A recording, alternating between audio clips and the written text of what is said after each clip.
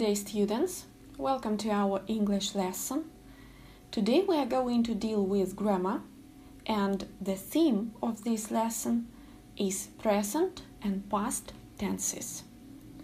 So, today you will be able to differentiate present and past tenses, understand when to use present simple, present continuous, and past simple, past continuous. Know and use present simple, present continuous, and past simple, past continuous in speech correctly. And now, please watch and listen to the explanation. Write down key information in your copybooks. Let's have a look at these sentences. I never cook dinner. She is cooking dinner.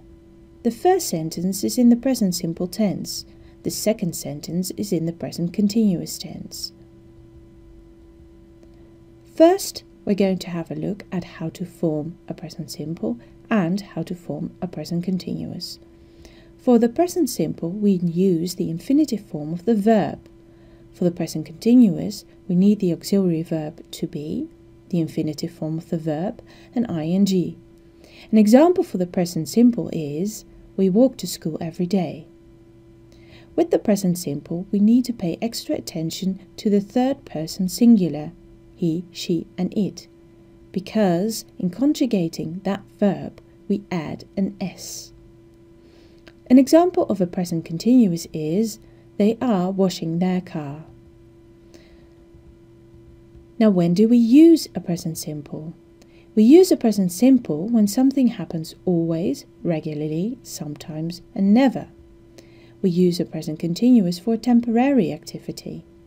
An example of the present simple here is she always drives like a madwoman.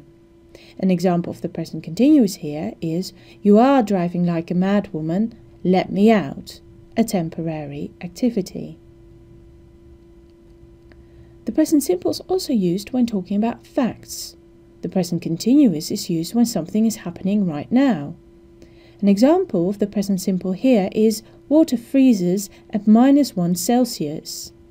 An example of the present continuous is the water is freezing. Look. Finally, we use the present simple for timetables and schedules. For example, the bus arrives at 10:30.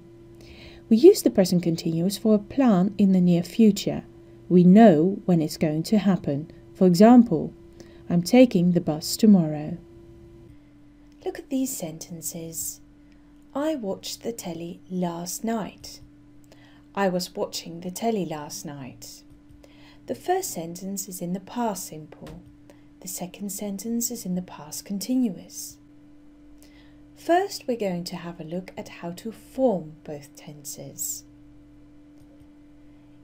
As you might know, in the English language, we have regular and irregular verbs, and this is important to remember when forming a past simple. To make a past simple, for the regular verbs, we use the base form of the verb and we add ed. For example, he worked late last night. The irregular verbs have their own unique past tense, so you need to study those carefully. I bought a new t shirt yesterday.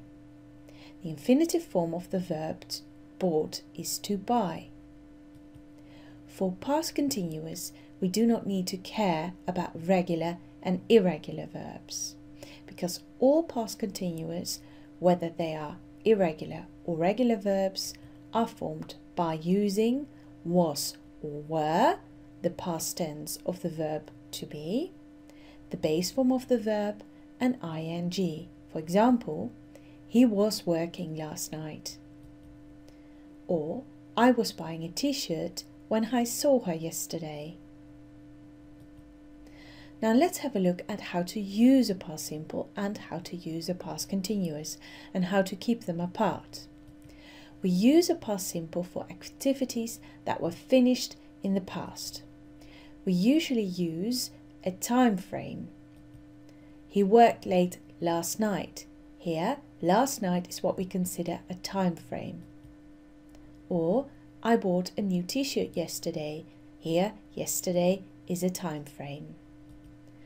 A past continuous is used for activities started and finished in the past, but we want to emphasize duration. So we want to show the other person, the other listener or reader, that it lasted for quite some time. For example, he was working all night, so we want to emphasize that it lasted the entire night. We also use a past continuous for an ongoing action in the past interrupted by a sudden event. For example, I was buying a t shirt when I ran into her.